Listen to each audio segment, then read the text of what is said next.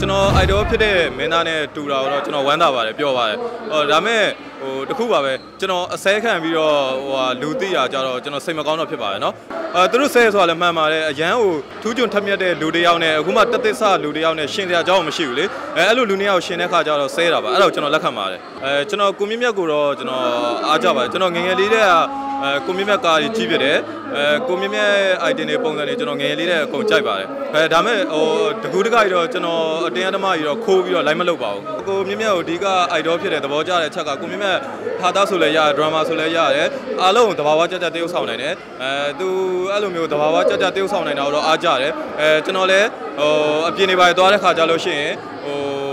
စင်းရဲသားပဲဖြစ်ဖြစ်ချမ်းသာတဲ့လူပဲဖြစ်ဖြစ်ပျော်ပျော်နေတတ်တဲ့လူတွေပဲဖြစ်ဖြစ်အဲ့လူတွေ character တွေကိုလေးလာပြီးတော့ပဲကျွန်တော်တရုပ်ဆောင်တင်ယူပြပါတယ်ဟုတ်ကဲ့အဲကျွန်တော်အခုတော့နုပညာလှူရှားမှုတွေကဂျာနယ်ရိုက်တယ်မဂ္ဂဇင်းရိုက်တယ်